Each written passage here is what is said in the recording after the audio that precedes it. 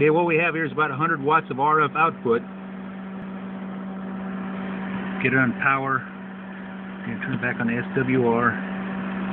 Make sure it is set. And a little better lighting over here.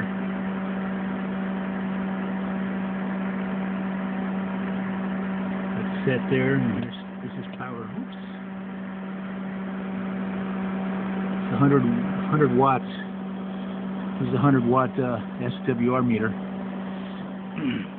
the uh, this is a lab built dummy load, 50 ohms. It's running about 100, and, yeah, almost 140 degrees Fahrenheit. It's only been running for about 10 minutes. We have uh, these are 50 uh, ohm resistors, or no, they're 100 ohm resistors. They're in series parallel.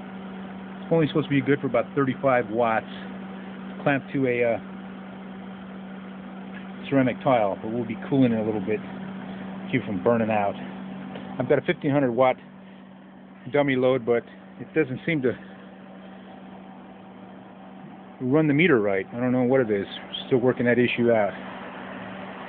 So it looks like in the back here.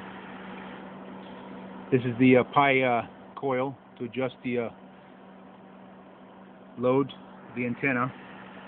You also have the uh, tank for the uh, pi capacitor, multi-turn air capacitor for the uh, tank, and this is for the the antenna load. We've got two KT88 vacuum tubes running in parallel now. It's the first time we've had two of them in, in parallel. Previous test we were running only about 35 watts of R, uh, RF out of it.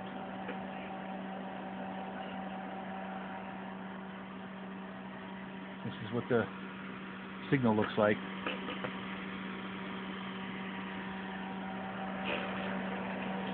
This is the amp meter, amp draw for one of the KT88s.